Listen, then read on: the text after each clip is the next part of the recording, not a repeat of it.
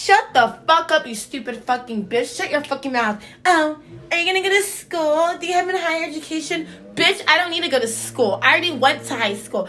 I am never ever going to college because I'm gonna have a man take care of me. I don't fucking do school, bitch. Why the hell would I go to college when I wanna be a stay at home mom and have a man take care of me and dominate me? I don't believe in college. It's a waste of time and money. I don't wanna go to school. I'll never fucking go to school. I already went to high school, middle school, and elementary school. You're not the boss of me, bitch. Don't fucking tell me how to live my fucking life, bitch. I'm gonna keep going on dates, keep whatever the fuck I want, and try to meet the hot, sexy, rich, white guy. Try to meet my guy to take care of me and do everything for me. Don't fucking tell me how to live my life, bitch. No, I'm not fucking going to school. Higher education. Bitch who says I want a higher education. I don't care about education. I'll never fucking go to school. I don't fucking want to go to college. I'll never fucking go to college. Bitch, I already went to high school and I had perfect fucking attendance. I've already did high school. I'm not going to college. I want a guy to take care of me and have a baby and be a stay-at-home mom. Shut up. Don't tell me how to live my life.